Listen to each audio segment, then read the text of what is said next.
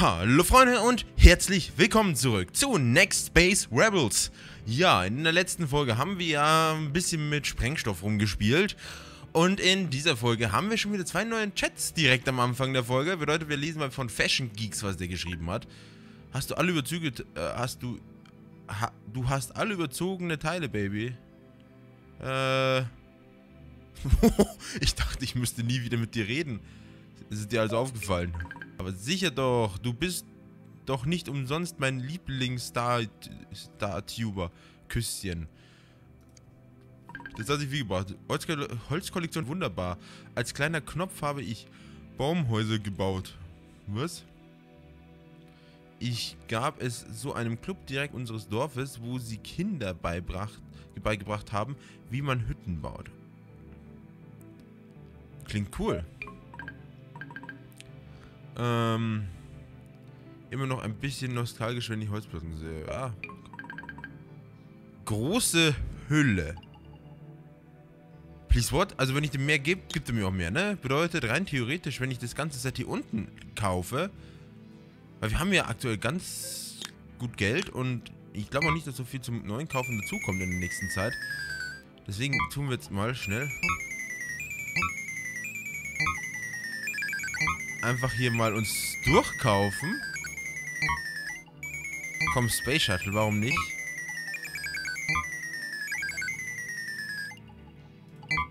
Könnte mal eine farbige Rauchbombenrakete auch machen, wer weiß.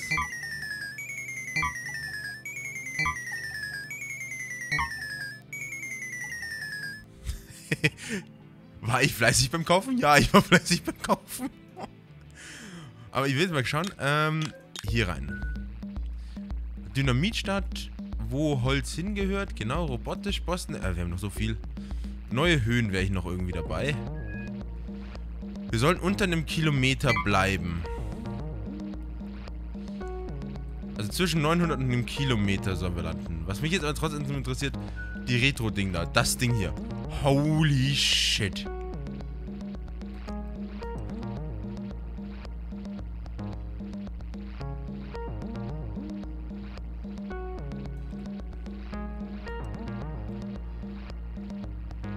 Ganz mittig passt es aber auch nicht da drauf, aber holy shit ist das ein fettes Teil. Das wird auf jeden Fall in Zukunft Einsätze sehen. Ähm, so, aber wir werden jetzt Spielsachen. Ne, unter was fällt denn das?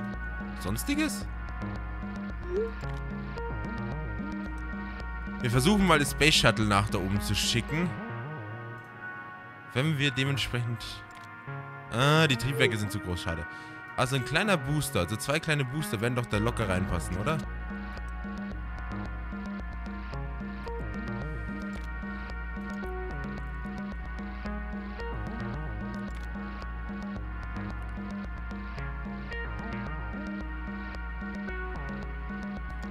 Let's try it out.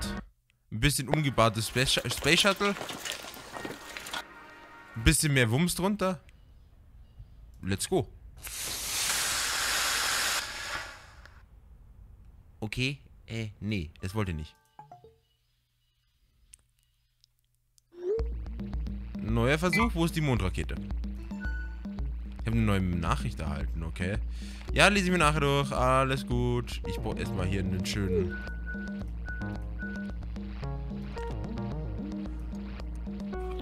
Ich will irgendwas mit dem Booster hier bauen. Weil ich glaube, dass der so hoch kommt. Und ich glaube, mit komme ich da an eine schöne Breite ran.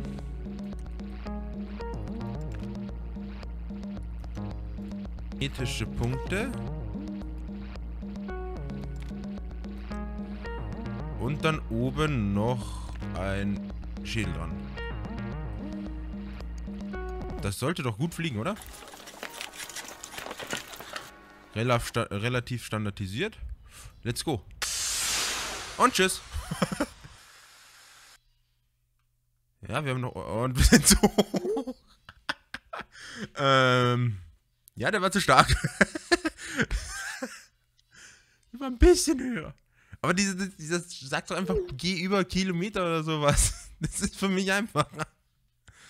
Och, nö. Ja, okay, nee, ich lade das nicht hoch. Außer es hat irgendwas Besonderes. Nee. Hm. Das taugt mir schon wieder nicht. Das taugt mir einfach nicht. So, dann nehmen wir den Booster halt wieder aus dem Sortiment. Ja, ich lese mir nachher die Mail durch. Gib mir eine Sekunde. Ich hätte sonst noch... hm. Ne, wir nehmen jetzt erstmal wieder unser Standard-Booster, nehmen den kleineren und schauen mal, wie der sich schlägt. Vielleicht können wir damit was anfangen. Let's go. Äh, äh. Okay, Doppelbooster. Ich vermute, wir brauchen hier einfach einen guten Doppelbooster. Der sollte das dann Ganze auflösen. Deswegen kommst du links und rechts dran und dann sollte das aber pfeifen, das sage ich da. Und let's go. Mm, mm. Komm schon. 500 Meter. Scheiße. Zurück zur Konstruktion. Noch einer in die Mitte. Das geht doch bestimmt irgendwie, oder? Wenn ich dich hier so längs Dich hier so rechts, dich nochmal zur Seite, zack. Den hier in die Mitte. Und dich verzögere ich um zwei Sekunden.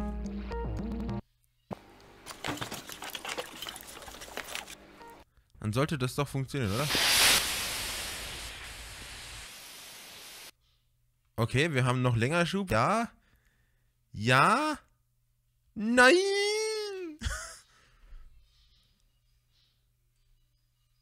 Vielleicht sollte ich doch nochmal versuchen, nochmal zwei Sekunden nach hinten zu schieben, den Start. Weil ich glaube, der fliegt sonst noch die zwei Sekunden länger ohne Schub. Gehen wir mal hier auf vier Sekunden. Ich glaube, jetzt kommt die Tüftelei wirklich ins Spiel. Vielleicht könnte es mit Treibstoff aufarbeiten, aber... Okay, und? Beschleunige das Ding hoch, jawohl. Uh, nee, nee, nee, der fliegt in die falsche Richtung. Okay. Hm. Hm. Müssen wir wohl doch mal auf Treibstoff gehen. Ja, okay, was wollt ihr denn? Museum. Hast du eigentlich noch alle Finger? Warum? Ach, nur so. Ein Feuerwerkskörper. Hm, keine Sorge, ich arbeite sicher. Eine Doppelspitze.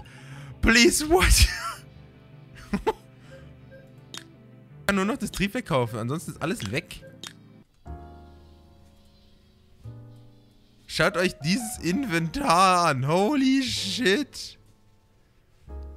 Yo. Alter, das war gut. Oh, wow, wow. Ähm, wir werden jetzt halt mal mit Triebwerken arbeiten, ne? Wir nehmen jetzt hier so einen Düsenantrieb. Ne, ich würde beim Original bleiben, ehrlich gesagt. Und jetzt brauchen wir Treibstoff. Es würde klappen, aber ich will das nicht.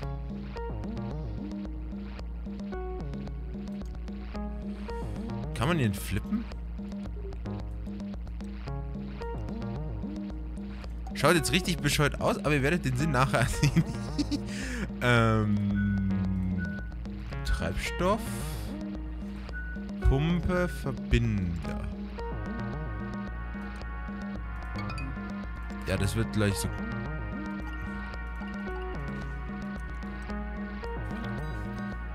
Okay, dann gehen wir zurück in die Konstruktion.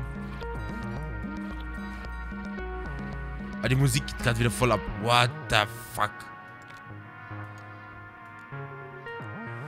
Und wir setzen hier dazwischen eine Pumpe ein. Ah, nee, das geht auch nicht. Ah, schauen wir erstmal. Wenn ich jetzt wirklich so eine simple Rakete baue. Ich nehme das Teil hier raus. Weil das ist jetzt wirklich so eine Short-Term-Rakete. Also billiger geht's ja nicht. Und Start. Du, ich baue sonst... Ich baue eine größere. Mir scheiße. Ich schaff dieses blöde... Ich schaff das blöde Ziel. Ich muss nur schauen, wie ich den Triebstoff hier verbaue. Treibstoff hier verbaue. So, ähm...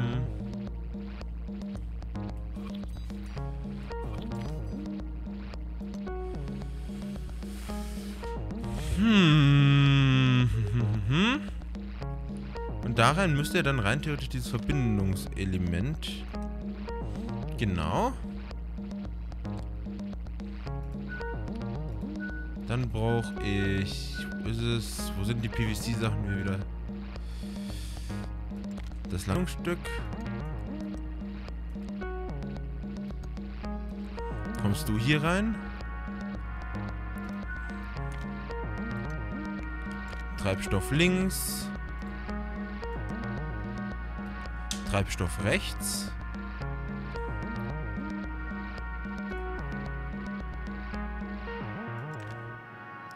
Nee, das brauchen wir jetzt nicht. Aber ich brauche wieder ja Trieb.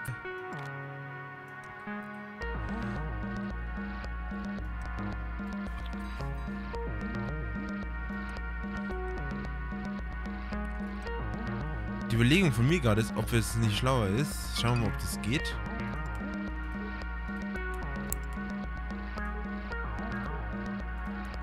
So zu bauen. Und dann versuchen...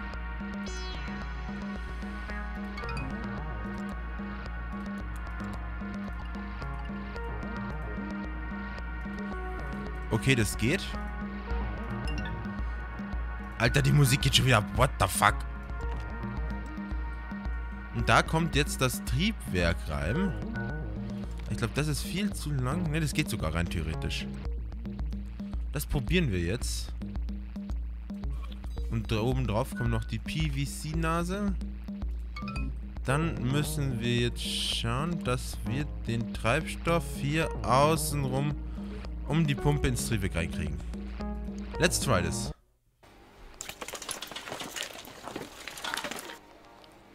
Bisschen andere Rakete, aber scheiß drauf. Let's go. Und tschüss. Hm. Zu stark. Viel zu stark. Ach, come on, jetzt ist zu stark auf ein normales Triebwerk. Das hat vielleicht ein bisschen weniger Schub. Ich glaube, der Technojet hat ordentlich Bums unter der Nase. Bedeutet, wir nehmen dich mal aus dem Geschäft und nehmen den normalen, das normale Triebwerk wieder in die Mangel tun das auch wieder verbinden. Ansonsten muss ich halt vielleicht mal doch die Pumpe rausnehmen, weil die Pumpe ist ja ordentlich am Machen. Bauen. Zum Start.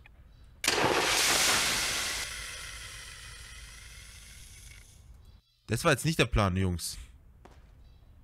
Ach, come on. Oh. Epischen Tech. Okay, das lade ich hoch. Zensiert? Die Gipfel von... okay, Treibstoff, Rohr, Rohr... Hatte ich noch nie, ne? Du bist clever, clever. Dann machen wir clever Mixturen. Das habe ich glaube ich schon sehr bald verwendet, das letzte Mal. Ja, wir müssen irgendwie was schaffen, das ist das Problem. Mega Kombination clever, das bringt uns immerhin ein bisschen Aufrufe wieder und vielleicht auch neue Chat-Nachrichten. Was? Dein Videotitel mit Nummer wurde wegen unangemessener Text gekennzeichnet. Das Video verstößt gegen unsere Nutzerberechtigung und kann ab sofort nicht mehr angesehen werden. Was? Warum? Okay. StarTube. Das hast du schon in deiner zweiten Verhandlung. So sieht's aus. Das sagt Rayson und ich haben auch ein paar. Aber das ist es so schnell auf dich abgesehen haben, ist neu. Beeindruckend, oder? Das kann ich nicht mehr sagen, das kannst du auch sagen. Ich finde, Startup überschreitet mit diesen Verfahren echt eine Grenze. Naja, wir haben ein paar abgefahrene Dinge gemacht. Es ist ihr Kanal, sie können sollten einfach mal tun und lassen, was sie wollen. Ich bin früher um Freiheit, aber ihnen geht es am Arsch alles. Heute schützen nur noch ihre Investoren eben auf Nummer sicher. Das muss sich etwas ändern. Da gebe ich die Essen. Aber wie? Ich werde darüber nachdenken. Wir müssen, es muss doch Alternativen geben. Ah, ich bin gespannt. Also könnte sein, dass wir auf einen anderen Kanal wechseln, oder was? Oh. Was passiert eigentlich, wenn man zu viele Verwarnungen kriegt, rein theoretisch? Baue keine Teile der Gruppe Booster ein. Na, das, das, das ist halt, ich will gerade einfach diese, diese Kilometer schaffen. Das kann doch jetzt nicht die Herausforderung sein, oder? Nehmen wir mal eine simple Rakete. Booster. Links und rechts zwei so fette Dinger. Das muss doch quasi fliegen, oder? Also quasi. Muss fliegen. Let's go.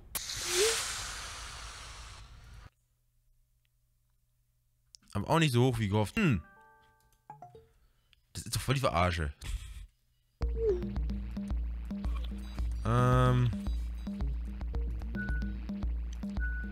Wie krieg ich dich darauf? So? Komm, das Ding muss doch starten. Wow!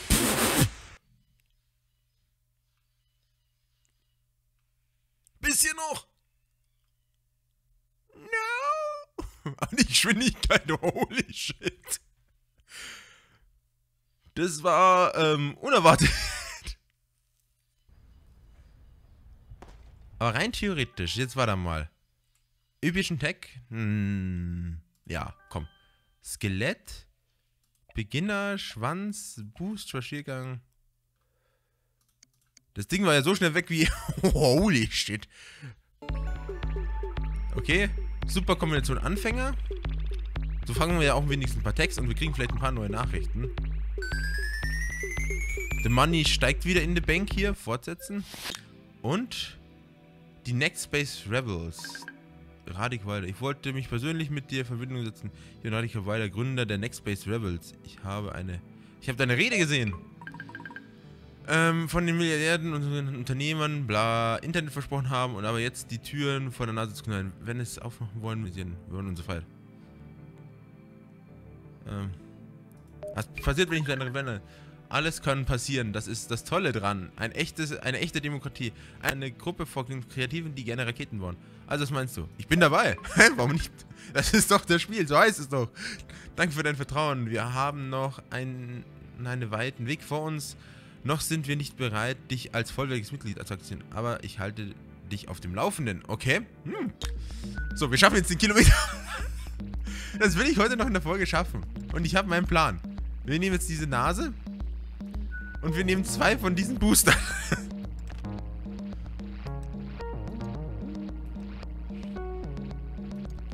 so. Mir jetzt wurscht, wie irgendwie kriege ich die in die Nähe voneinander. So. Und in der Mitte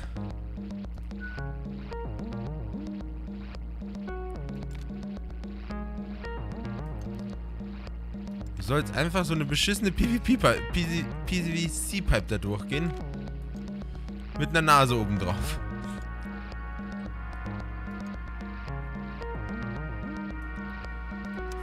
Aber wenn wir es hier hinstellen, können wir die vielleicht noch kürzer einfach designen.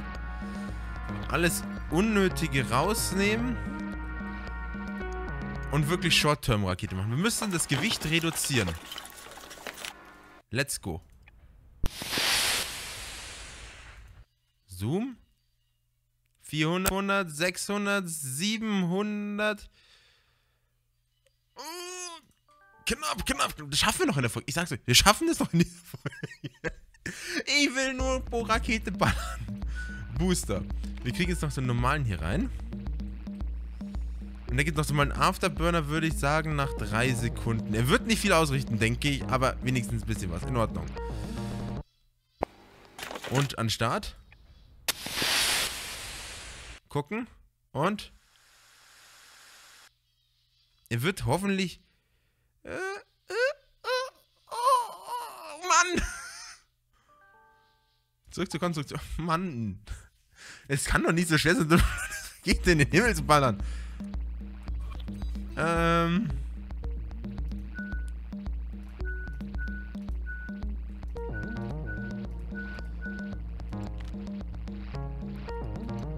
ich die jetzt wirklich hier platziere und dich hier in der Mitte. Dich hier in der Mitte, dich lasse ich drei Sekunden später zünden.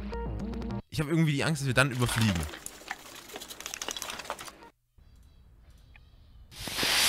Auch wenn natürlich der Druck jetzt viel höher wird und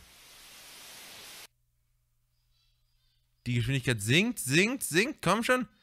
Noch ein bisschen. Nur noch ein bisschen.